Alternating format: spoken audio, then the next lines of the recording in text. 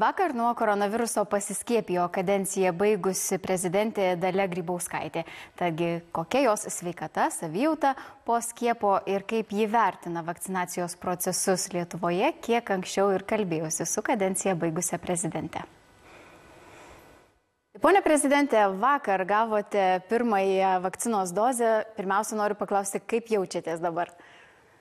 Na, dabar, kai kalbame labai gerai, vakar šiek tiek jaučiau maudimą e, to durio vietoje, bet tai labai greit praėjo ir dabar jaučiuosi labai gerai. Jūs vakar paskelbusi nuotrauką vakcinacijos parašėte, kad tai yra moralinė pareiga ir kad jūs sužinojusi, kad gausite skiepą išskubėjote. Kodėl jums svarbu parodyti visiems žmonėms, kad na, reikia vakcinuotis nuo COVID-19? Na, tai pirmiausia svarbu man, mano artimiesiems. Man svarbu dėl to, kad aš pasitikiu vakcina ir noriu būti sveika. Aš jokių būdų nenoriu užsikrėsti ir paskui e, rizikuoti užkrėsti kitus. Tai todėl tai vadinu moralinė pareiga kiekvienam. Na, o e, labai apsidžiaugiau, nes e, iš ties e, man tai yra labai svarbu. Aš kasmet vakcinuojas nuo gripo ir tai man visus dešimt prezidentavimo metų padėjo e, iš, išlaikyti tempą ir likti sveikai. Ir kaip žinote, aš niekada neturėjau. Tai taip vadinamo lygos lapelio. Bet iš tiesų Lietuvoje yra nemažai dabar diskusijų ir socialiniuose tinkluose ir viešoje erdvėje dėl skirtingų vakcinų, dėl jų efektyvumo. Ar jums buvo svarbu, kuo būsite paskiepyta? E, aš e, labai domėjausi e, vakcinomis ir iš tarptautinės žiniasklaidos, nes aš manau, kad apie pačias vakcinas vis tik tai Lietuvoje nepakankamai yra informacija ir komunikacija. Domėjausi labai ir manau, kad iš principo visos vakcinos yra saugios, jos aišku yra skirtingos, skirtingo efektyvumo, bet visos labai ženkliai apsaugo nuo sunkių lygos formų ir nuo mirtinų atvejų. Todėl man buvo nesvarbu, bet kiek aš žinau, toje įstaigoje kurioje aš skiepijausi, buvo Pfizer vakcina.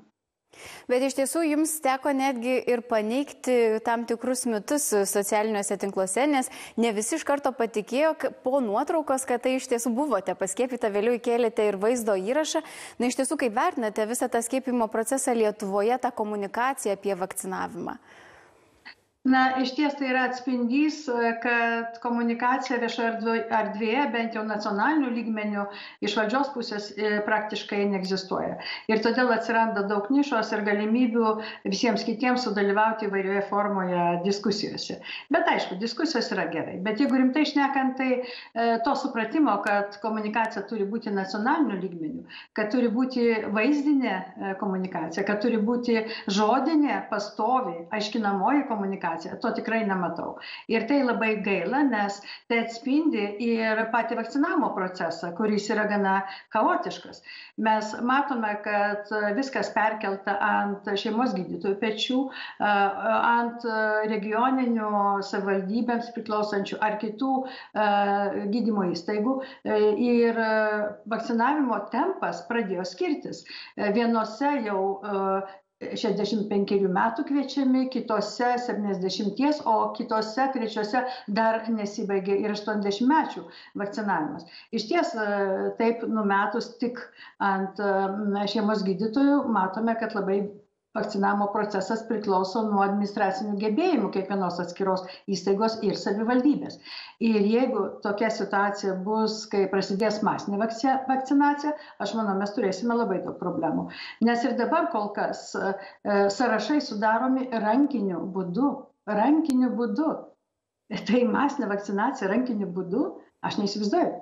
Tai, tai kiek galima laukti ir, ir, ir, ir nesitvarkyti ir kažkokių atsitiktinių skaičių laukti, kad bus viskas gerai. Matome ir dabar, tarp gautų vakcinų kiekių ir panaudotų yra didelis skirtumas.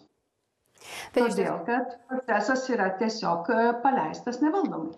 Na, iš tiesų teisinamasi, kad galbūt kol kas sunku viską planuoti dėl to, kad yra neaiškus vakcinų tiekimo grafikas. Ar tai yra tas tinkamas pasiteisinimas na, tam kai kur ir stringančiam procesui?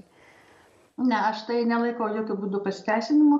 Mes matom labai konkrečius skaičius tarp gautų ir panaudotų e, vakcinų kiekio ir jis yra pernelyg didelis. E, didėjant vakcinų kiekiui bus dar didesnis skirtumas ir todėl jokių pasiteisinimų čia būti negali. Ir rankinių sąrašų sudarimų taip pat būti neturėjo. Turėjome pasiruošti internetinę programą, kad viskas vyktų greitai ir objektyviai. O dabar turime chaosą, kuris gali e, virsti labai sudėtingom problemom jau po mėnesio, kai prasidės bent jau arba e, gausime didesnį kiekį, arba prasidės masinė vakcinacija. Ačiū prezidentė už pokalbį. Ačiū. Taigi, kiek anksčiau kalbėjausi su kadenciją baigusią prezidente Dalia Grybauskaitė apie vakcinavimo procesą Lietuvoje, kurį ji pavadino chaotišku ir sakė, kad trūksta komunikacijos. Na, o kalbant apie jos pačios savijautą po pirmosios vakcinos dozės, tai Dalia Grybauskaitė sakė, kad jaučiasi gerai.